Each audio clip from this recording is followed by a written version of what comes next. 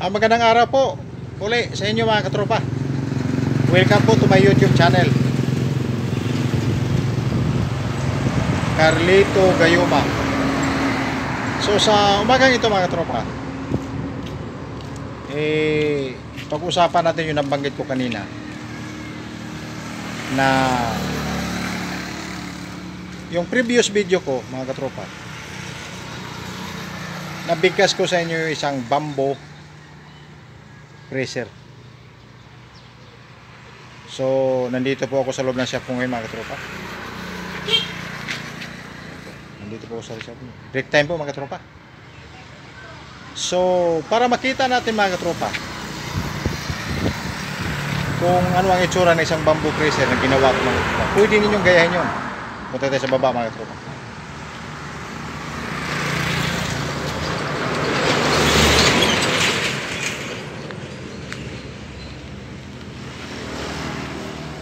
So nandito po tayo ngayon sa rampa mga tropa.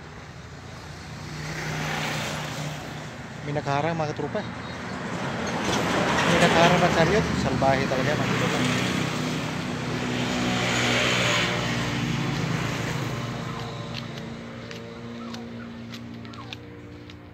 So malapit na tayo mga tropa.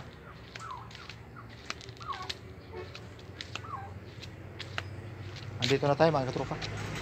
Ay, akin pala yung mga tropa absensya. Akin pala chariot na yung mga tropa. So, yung sinasabi ko sa inyo, yung bamboo pressure mga tropa.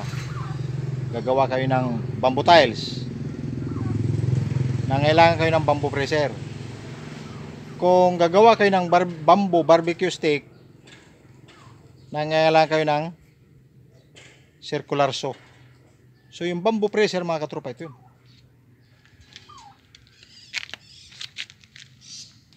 Ito siya mga katropa. Mayroon siya hydraulic jack. May hydraulic jack sa ilalim mga katropa. Tapos may spring mga katropa.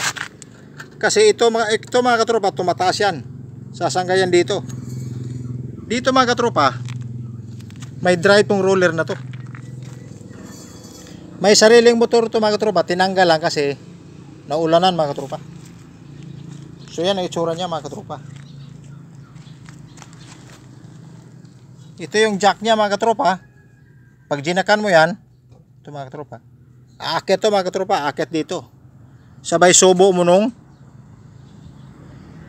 kawayan may pandikit. May adhesive mga katropa, may glue. Yun ang, yun ang ano niya, yun ang purpose niya mga katropa. Ito yun. Ito, naglagay tayo ng haligi mga katropa, makapal yan. One fourth kapal niya mga katropa. So naglagay tayo ng base. Nag-welding tayo ng base. Tapos gumawa tayo ng table mga tropa. Table yan. Saka gumawa tayo ng roller mga tropa, roller. Ito yung roller eh. Press roll yan mga tropa, press roll yan.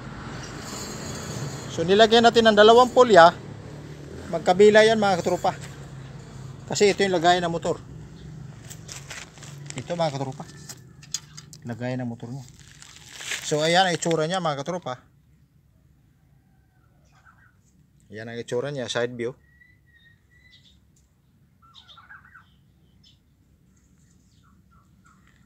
Bali ang nagda-drive sa kanya mga katropa, itong roller na ito mga katropa. Pag akyat ng lamisang ito mga katropa, na mayroon na siyang kawayan, aakyat yan dyan, mapipisa siya mga patropa na itutulak nung operator yan. Yan. Tutropa pagka maipit na. Depende sa thickness. Ano yung ang thickness yan kasi mayroong hydraulic jack sa ilalim mga katropa yun. Ito yung lagay ng motor mga tropa yung mga butas na yan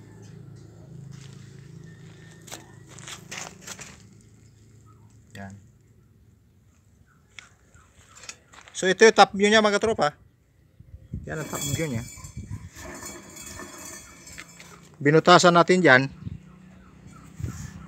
para siya magpipisa nung kawayan na tinabas doon sa circular saw. Kasi yung circular saw mga katropa pag tinabas doon yung kawayan na bilog Mahati yun sa tatlo. Magiging flat yun mga katropa. Pagkatapos nun mga katropa, isasalang pa uli yun sa planer. Sa sunod na video ko mga katropa, papakita sa ko sa inyo yung planer na ginawa ko mga katropa.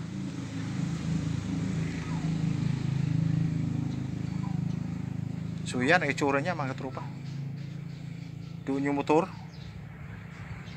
Dito yung kawayan na may pandikit. At ayan yung hydraulic jack. Tataas baba yan mga katropa. Maglagay tayo ng mga spring dyan mga katropa. So sa sunod kong video, i-feature ko sa inyo yung planer. Kasi yung kawayan mga katropa, hindi flat ang kabila side nun. Ipi-plane pa uli yun. Para gagawing bamboo tiles. So yan, yun mga katropa. So sa mga mahilig gumawa dyan ng mga bamboo tiles, barbecue stick, panoorin nyo itong video na to. Kakatulong to sa inyo. Kung may natutunan kayo sa video na ito, paki-like, share, and subscribe. Salamat po.